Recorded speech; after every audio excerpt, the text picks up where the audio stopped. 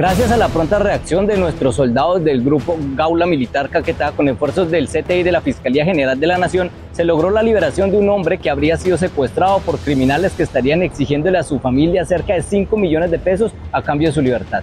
Con la oportuna anuncia del padre de este hombre, en tiempo récord se logró dar con la ubicación de la persona, quien fue hallada en la vereda Bajo Caldas, en el municipio de Florencia departamento del Caquetá. Asimismo, fue recuperada su motocicleta, la cual fue encontrada a pocos metros del lugar del rescate.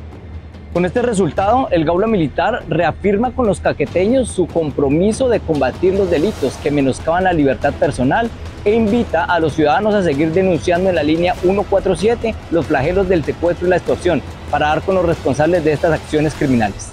Ejército Nacional, patria, honor, lealtad.